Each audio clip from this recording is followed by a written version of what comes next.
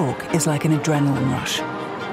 Manhattan is overwhelming, the heart and capital of the world. New York is booming. More and more people come here to witness it, this living and breathing monster of a city. Some come to work and live here, and stay. Midtown Manhattan around Times Square is the business center of New York.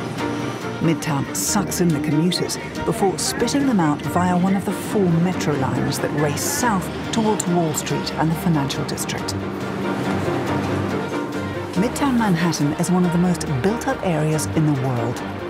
But Midtown is also feeling its age, which is why it's time for Manhattan to renew itself. But how? How do you rebuild a city that's like a live wire?